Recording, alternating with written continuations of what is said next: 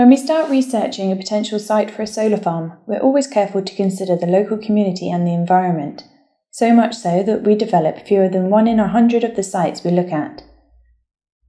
We carry out a detailed feasibility study of every site, selecting only those that can be effectively screened from view to minimise impact on the character of the landscape and visual impact for homeowners. During the planning phase, we write to local people to let them know about the possible development with information on how they can contact us and where they can find further details.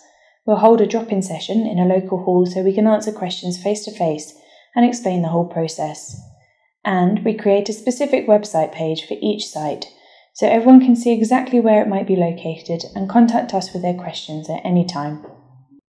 A landscape and visual impact study may make suggestions to enhance planting around the solar farm to ensure that it is well screened and any enhanced boundary planting will effectively hide the development from most views. We worked with the Solar Trade Association to produce the STA 10 commitments. This is a set of principles to guide the responsible development of solar farms. You can read more about this initiative on our website.